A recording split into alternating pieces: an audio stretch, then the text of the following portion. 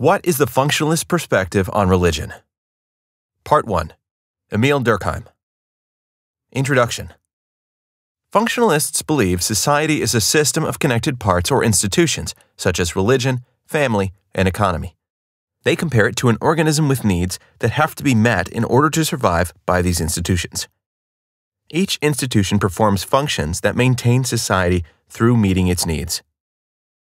The most basic need is social order and solidarity, facilitating cooperation among its citizens. The foundation of this order is value consensus, which is the shared norms and values of its members. Without value consensus, its members focusing on their own desires will break society down. Durkheim on religion. Functionalists believe religion is central to creating and sustaining value consensus and social order, which was developed by Emile Durkheim the sacred and the profane. Durkheim believed religion was defined by the distinction between the sacred and the profane. Sacred was defined as things that are forbidden as they inspire awe, fear, wonder, and are attached to taboos and prohibitions. Profane was defined as things that have no special significance and are ordinary. Religion is essentially definite rules or practices that are sacred and embraced by many groups. Durkheim believed that sacred things were symbols that represented power, which was society itself, and could be the only thing to command strong feelings in religious believers. Furthermore, worship of sacred symbols is equivalent to worshiping society itself and, though symbols vary by religion, unites believers into a single community.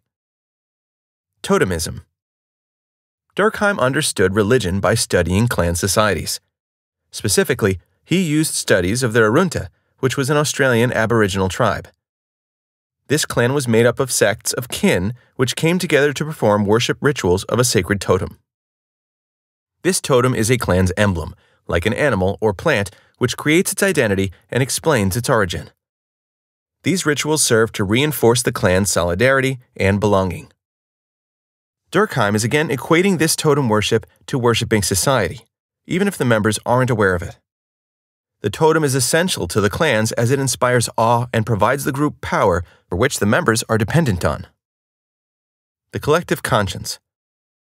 Durkheim believes sacred symbols represent a collective conscience, which is the shared norms, values, beliefs, and knowledge which creates a social life and cooperation among society's individuals.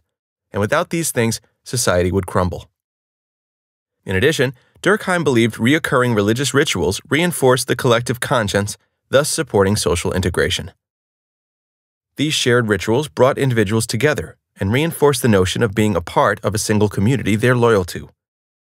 The rituals reinforce the power of society which they owe everything to, and without it, they would lack self worth. Religion is also viewed as important to the individual by making them feel a part of something greater and strengthening them to face trials and overcome obstacles that would otherwise defeat them. Cognitive functions of religion. Durkheim sees religion as also a source of intellectual and cognitive capacities, which is the ability to reason and think conceptually. Durkheim equated the ability to think to needing categories such as time, space, substance, or numbers, etc.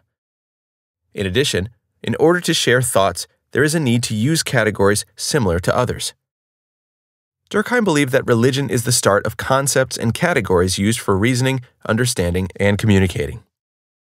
In Durkheim and Marcel Mauss's book, Primitive Classification, they state that religion provides basic categories like time and space, such as a creator creating the work at the beginning of time, and the division of tribes into clans as forms of classification. This essentially represents Durkheim's notion as religion being the origin of human thought and reason. Evaluation The evidence supporting totemism is not sound, which was supported by Worsley, 1956, in noting there is no real division between sacred and profane, seeing that different clans share similar totems.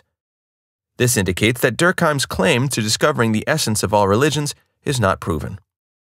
In fact, Durkheim's theory may be more applicable in smaller societies with a singular religion, but is more problematic when applied to larger societies with varied religions communities as it could create conflict.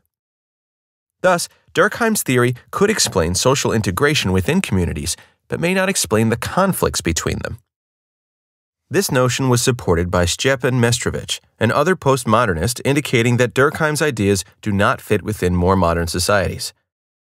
These modern societies have increased in diversity and fragmented the collective conscience, and rendering this single shared value system unsupported.